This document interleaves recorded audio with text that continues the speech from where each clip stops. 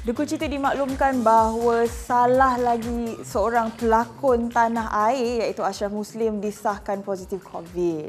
Yes, dan bukan sahaja Puteri Aisyah dan juga mungkin kita mungkin daripada H Live ingin berikan uh, sedikit kata-kata semangatlah kepada Ashraf Muslim, kepada Puteri Aisyah yang terjangkit Betul. dengan COVID-19 ini. So apapun, uh, Ashraf ada juga merekodkan sedikit footage, jadi jom kita saksikan.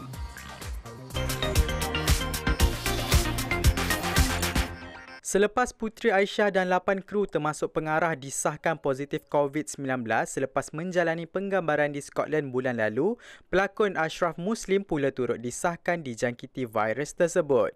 Difahamkan setelah sekian lama berdiam mengenai keadaan dirinya, Ashraf akhirnya berkongsi berita itu menerusi akaun Instagramnya.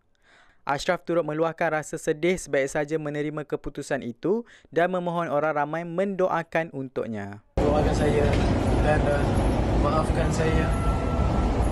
Kalau saya salah silap mungkin oh, ke apa tidak lupa saya jadi maafkan saya kawan-kawan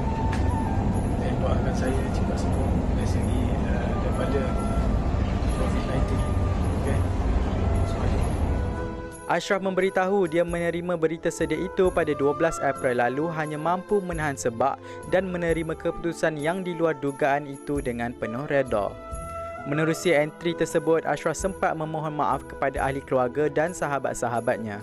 Tidak mendedahkan di hospital mana dia dirawat, Ashraf berkata dia berada dalam keadaan yang sihat dan berpeluang melaksanakan ibadah seperti solat dan membaca Al-Quran.